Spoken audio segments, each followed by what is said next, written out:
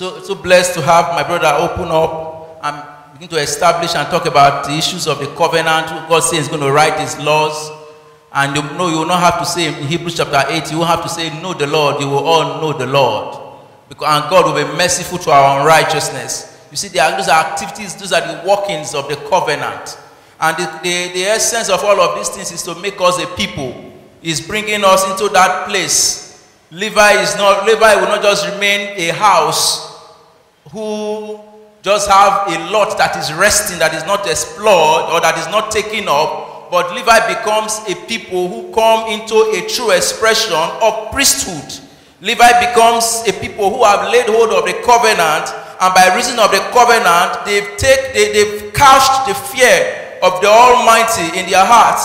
And he said, by that, that covenant was given to them to, for life and peace.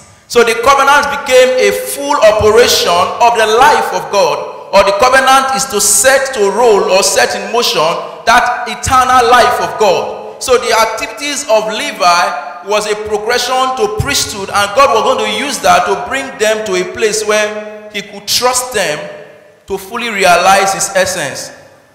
Praise the Lord. He said, The law of truth was in His mouth, and iniquity was not found in His lips. He walked with me in peace and equity. He said, The law of truth was in His mouth the blessed place of the priesthood is not just that the priest can talk. The priest has been made. The priest has been formed. The priest has learned to walk. The priest has taken laws. They've been lined up in the heart. Priest has learned the righteousness of God. He has learned the laws of God. And that is our ordination as a people. And how does, how, how does God bring us to that place? And that is how God is coming to us again in this season, in these times. Because He truly wants to bring us to a place where we will truly come to that pre precious experience of the law of truth. He said iniquity was not found in his lips because hearts have learned to respond accurately to God. They've learned, hearts have, great, have acquired stature, they've learned the law, the law of life. So, what we are coming into in this season, or what God is establishing to our hearts, is to say, to let us know that He's, He means business and ultimately, we're going to see the covenant show a face of a reality of God by a people. So a people will now become that emblem or a full expression of a covenant that is being behind the veil that has been not, that has not been visible. Hallelujah. So God is assuring us that I'm going to make a people who will partake of my priesthood. We're going to come to the very most, they partake of my most holy things. And by that reality, they will keep the law of truth. They will walk in, with him in peace and equity. The walk of peace is not just a walk of, it's not, a, it's not an accidental walk. The law of, the, the walk of peace is a walk of a heart that has been engraced. It's a heart that has received learning, learning upon learning. And by that, God begins to bring us to a state of stability, a place of a place of, I'm seeing, they say, talking about motion, they say there's, a, there's what you call a uniform motion, uniform, that a body is either in a state of rest or uniform motion, meaning there is a place where you get to, you have, you are, you, you, you like you're on auto run. And that place of auto run is the place where the things of God begins to prosper.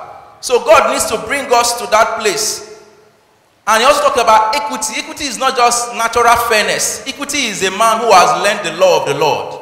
When a man, Reverend was talking about on, on, on, on Thursday, people who have their senses exercised to discern between good and evil. People who God would have trained their mind, they have received the exercise of the law of the Lord, and by that they will be able to give them hearts, their heart, their minds can hold eternal judgment. And God can trust them to be equitable because they have ability to dispense the law of the Lord. They have ability to dispense the realities of God, the wisdom of God, the purposes of God in their seasons. And God will be assured that there's no wastage. Hallelujah. Praise the Lord. So God has so much for us in this season. And as I'm seeing in my heart, I I'm seeing a flip of the other side of how God wants to bring us to that reality. Let's look at James chapter James chapter 1. But let him, verse 6, Lord, let him ask in faith, nothing wavering, for he that wavereth is like the wave of the sea, driven with the wind and tossed. For let not that man think that he shall receive anything of the Lord. A double minded man is unstable in all his ways. A double minded man is unstable in all his ways. James chapter 3, verse, sorry, James chapter 4, verse 8, sorry, 4 8. Say, draw nigh to God, and he will draw nigh to you. Cleanse your hands, ye sinners, and purify your hearts, ye double minded. In view of what God is lined up for us, in view of the provision of how He wants to transfer and write His laws in our hearts so that we can begin to truly manifest the peace, life, and peace. In view of that, God is charging us to say, we need to draw nigh unto God. We need to draw near with, not draw near, not more, no more with an evil heart of unbelief. Drawing near in full assurance of faith. We to draw near. And in this place of drawing near, God is speaking to us. Don't forget that James was not writing to unbelievers, he was writing to Christians. But he will tell them he has established something that a double minded man is unstable in all his ways. He has established that in chapter 1. And he's coming back again and he's addressing certain issues again. He said in chapter 1 that let him not think that he will receive anything of the Lord. So God is setting before us a provision and is demanding that we have a certain attitude or a certain position of heart or a certain posture to receive. He said, he would said a double-minded man is unstable. He said, let him not think he shall receive anything of the Lord. Now God wants us to come to a place where we will receive everything. Peace and life. Eternal life is a reality. We can prosper in abundant life. We can come to a place where the laws of God are written and we will have, we will no more say, we will not be taught or we not say anyone know the Lord. Say we will know the Lord. And he now said again, he said they will turn many from their iniquity. A heart that has turned many from iniquity is a heart that has learned the law of the Lord and has embodied it. And so God is demanding that we come off being double-minded about our positions, about our ability to, to stay with what God is spoken of. And so God is calling us to say, cleanse your hands, you sinners. One of the things that makes a man a sinner is the fact that the man meddles with issues of value. When he says, don't give valuable things to swine. When God considers a heart swine, is because the heart does not have great value for things of the kingdom or things that pertain to his very holiest. And God, what God is demanding is that God will, will cleanse our hands, we will be cleansed and have a right attitude to hold spiritual things, to be able to value and tremble and hold reality.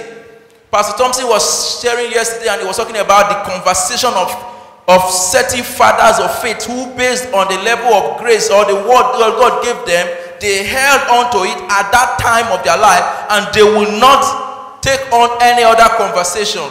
So God is demanding that we will cleanse our hands. We will not hold the things of God. We will not hold it with partiality, with levity, with being careless about it. And he says again, sometimes, again, the issues again are much deeper than, than we think. And God is demanding purification. What God, when God is demand, demanding purification, he, he sees an inability for us to truly come to that wholesomeness, that reality, that provision. Life is available, but people are not just able to just like uh, a Lot, he knew that the angels were going to destroy that, that, that uh, Sodom. He was very aware. He could discern it. He knew it. He knew. He knew. But somehow his heart was not ready to let go. I don't know whether it was affiliations or it was an investment, but the heart was caught in between, and he lingered. He knew so much, but his heart could not appropriate what he knew. So he was stuck in between, and as a man you could call a double-minded man. So God is calling us to a place of value in 2018 that we will not be double-minded in our hearts. We will open up to the purification of the Lord of heaven. Because when we are purified, then truly we will receive all of the Lord. He said, not, let him not think that he will receive anything of the Lord. God is speaking to our hearts and God is demanding that we will make up our hearts from this time and say, God, I will purify my heart. I will not be double-minded. The reality of being, of having your laws written in my heart, of having the very provisions of the life of God, of the life and the peace that are entrenched in the, in the holies of God, the very essence of God, coming to eternal judgment where my judgment is upgraded and I can begin to, my mind can oscillate with the very frequency of divine thought that these are realities and I'll say I've set my eyes like a flint. I will not look back until all of these things that God has said come to reality in my heart. Can we begin to respond to God? Father, we give you all the praise. We ask for your help, Lord. We ask for your mercy, O God. We trust you, Lord. We trust you. We trust you.